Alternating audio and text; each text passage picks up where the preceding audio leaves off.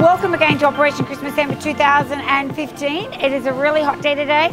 We've probably packed half the hampers this morning already. I think about uh, 1,600 have gone out this morning. We have all different organisations here today. We have Ollie here and his beautiful mum, Karen, from Sanit Sanitarium. And actually, Karen's come, this is her 11th year. We've been going 12 years. This is her 11th year packing. And um, she's, she's brought a daughter from that age and she's that old now. We have some of our beautiful young adults from House of Praise, our church. We have some more, follow me. We have beautiful Kate from House of Praise and then we have all the lovely girls from Sanitarium. And then we have, come, come, come. See, we have all different organisations come in and help. Oh, and this is my lovely husband here. And we have Tiffany from Simplicity Funeral. Then we have our, our staff from Newcastle Permanent, the beautiful people from Mingara. keep coming, keep coming, keep coming. More Newcastle Permanent. Heaps of jobs to do.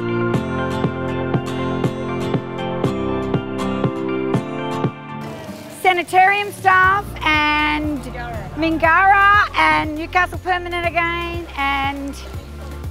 we have our beautiful um, people from our own church as well as Chris King's here from Mingara. from Mingara as well. And then out the back here, we have, these are our beautiful people who are picking up hampers. We probably send about 280 hampers to St. Vinny's at the entrance and all out the um, entranceway. About 140 into Gosford, 20 out to, to Kincumber. There's all different um, places that they go to. Loading up some Vinny's at the moment. We have another group of people that have been working flat out in here, um, organising toys. On Thursday we wrapped probably five or 600 toys, which um, were, were donated by Lifetime Books as well as um, 2GO and Sea FM did a toy run for us and collected heaps of toys.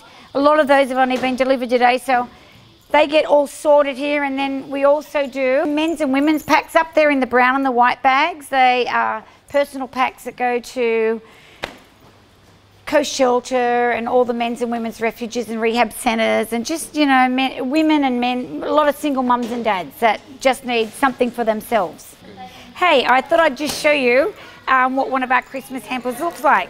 First of all, I want to thank Mars for supplying the fabulous bags. And then, of course, as I said, Clubs New South Wales help us to purchase chips, the cakes that we um, wrap, the fruit mince pies, the, the biscuits. Wrigley's have supplied heaps. Oh, I want to say a big thank you to Wrigley's because they supply all the Starburst lollies as well as the chewing gum. And of course, we've got Scotch finger biscuits that Clubs New South Wales have helped buy. And then in the bag itself, I know it might sound a bit strange to some, we've got snack biscuits, we've got muesli bars. Mars Food give us sauces. And then they also give us the noodles. And we buy pasta to go with the sauces as well. Mars Food have given us uh, tomato sauce. And then of course Sanitarium have given us milk and Weet-Bix. And then of course we love to put in a Christmas card which says, um, My gift to you, and it says, Is Jesus. And it's got the scripture verse about John 3.16 there. And we always place in our Christmas hamper, you may ask, Where is God? He's here right now, reaching out to you um, with love. Um, God cares, and so do we. And it, we have on the back all the people that have actually put something into this hamper. And we do that so that we want you to know, we want people to know that they're not alone at Christmas. Someone has thought of them.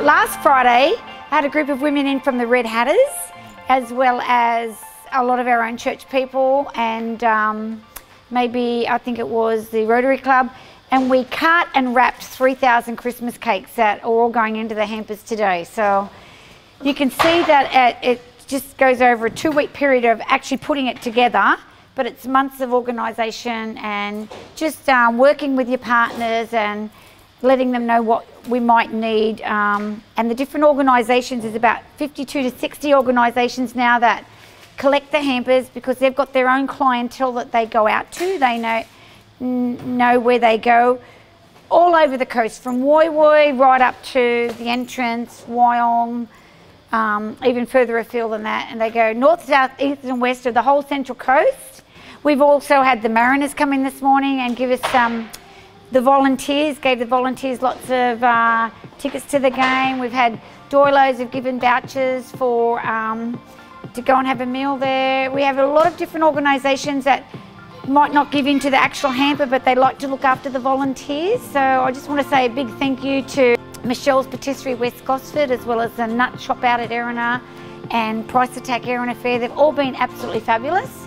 I just wanted to also um, say thank you to um, Clubs New South Wales. We have um, about four or five different clubs, all from the northern region actually, who give great finances for the hampers, which helps us buy the, the chips and the cakes and the and the pies and the things that we put in to make it and lollies to make it more Christmassy.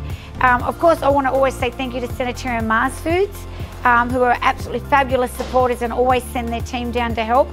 But Clubs New South Wales, Doylos, Mingara, and also Diggers at the entrance, the Wyong Rugby Leagues Club, and one of the very first clubs that ever funded us, which was Halekulani Bowling Club, they funded us 11 years ago with $500 and every year they've given us money and I just want to say a big thank you to them as well um, because without them it wouldn't be Christmas for a lot of people so I just wanted to say thank you.